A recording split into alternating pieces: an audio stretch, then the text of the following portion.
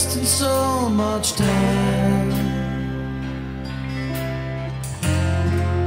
I have passed too many folks in the road.